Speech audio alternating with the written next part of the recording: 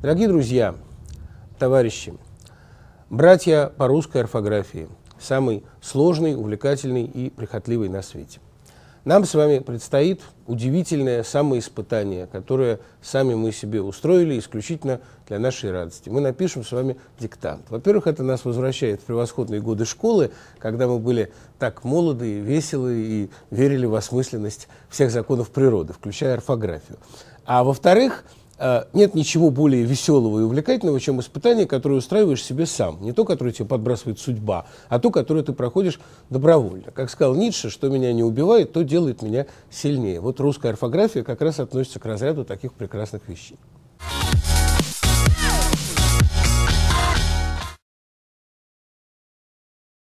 Орфография как закон природы.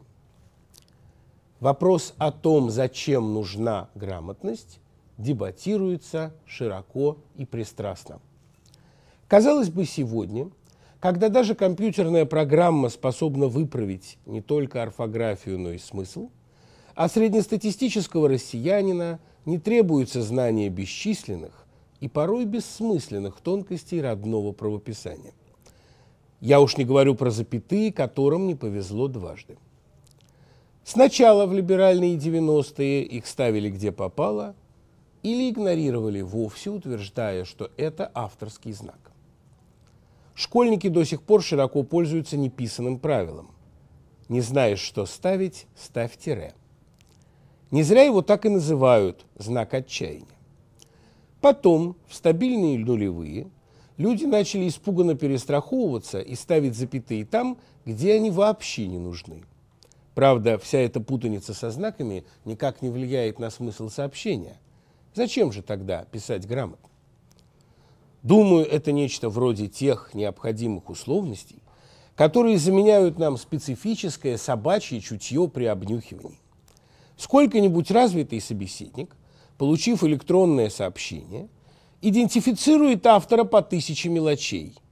Почерка, конечно, он не видит, если только послание пришло не в бутылке, но письмо от филолога, содержащее орфографические ошибки – можно стирать, не дочитывая. Известно, что в конце войны немцы, использовавшие русскую рабочую силу, угрозами вымогали у славянских рабов специальную расписку. Такой-то обращался со мной замечательно и заслуживает снисхождения.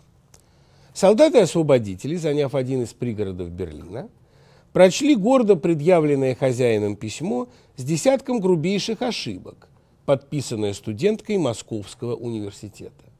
Степень искренности автора стала им очевидна сразу, и обыватель-рабовладелец поплатился за свою подлую предусмотрительность. У нас сегодня почти нет шансов быстро понять, кто перед нами. Способности маскировки хитры и многочисленны. Можно сымитировать ум, коммуникабельность, даже, пожалуй, интеллигентность.